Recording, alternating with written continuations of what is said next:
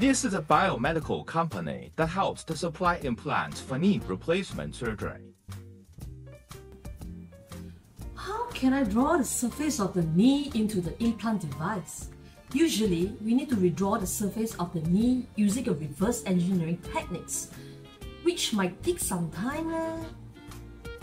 DTS can help you.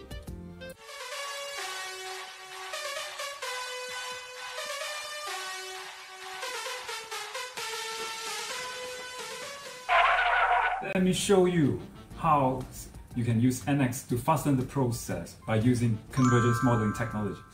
First of all, let us have a look into the knee geometry. So, as it is currently shown, the knee geometry is a facet body.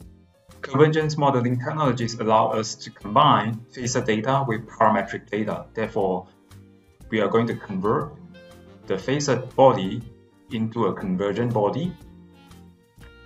Next, we are going to proceed to the implant geometry as such and perform a subtract operation.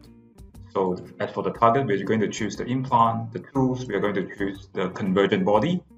Click OK, and we are getting the end result with the imprint of the knee. Yes, this is the solution that I'm looking for. But how can I modify the position of the holes? DTS can help you.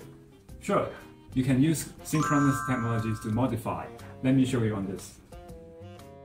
From the part history tree, we are going to temporarily suppress the previously subtract operation so that we are back to the parametric data.